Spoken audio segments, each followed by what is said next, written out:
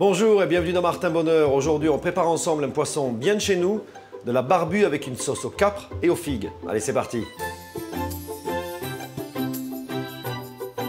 Les ingrédients pour la recette du jour. Alors ici, on a deux beaux filets de barbu. Regardez un petit peu, on a les bardes. Donc les bardes, en fait, c'est la partie de côté qui est très moelleuse et très goûteuse aussi. Quelques figues séchées, mais encore moelleuses.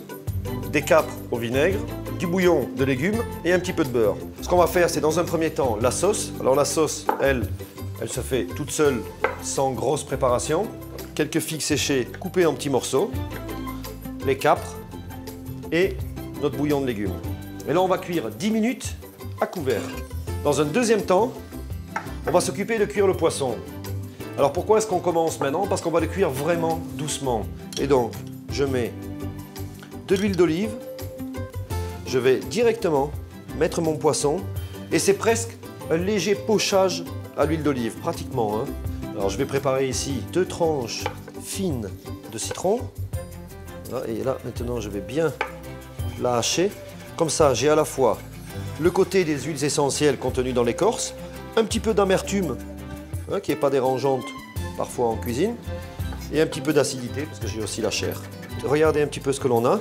Hein, quand on tourne, on a un poisson qui cuit, mais qui cuit. Je peux le toucher, je peux pratiquement toucher le poisson sans me brûler. Regardez ça, le poisson reste bien bien moelleux.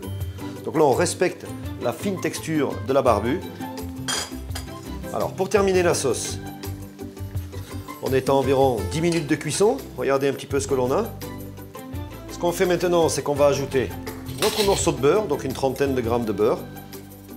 Et on va venir tout simplement mixer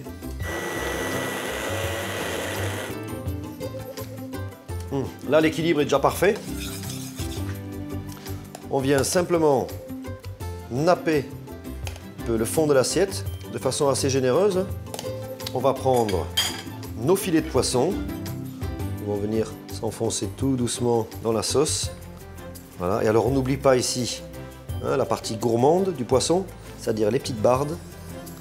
C'est délicieux. Voilà. Alors, pour terminer, je viens reprendre mes trois petites tranches de citron que j'ai hachées, simplement voyager un petit peu dans la poêle et je viens avec ça napper un petit peu mon poisson.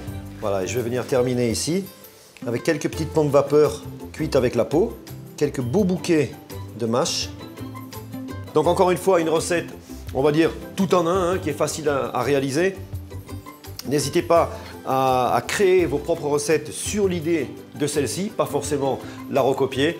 Prenez des photos, envoyez-les nous et on les publiera sur la page Facebook de Martin Bonheur. Bon appétit